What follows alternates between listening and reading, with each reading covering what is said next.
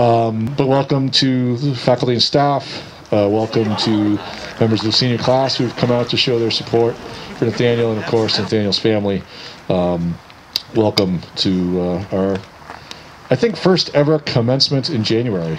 You know, the last year has been has been a lot of um, a lot of struggles and ups and downs in our country, and I find it to be uh, especially poignant that on a day like today, when we are making history in, in a variety of ways, um, our country is incredibly lucky uh, to have in its midst a new a new soldier um, who will be joining and defending us um, from all perils, uh, foreign and domestic.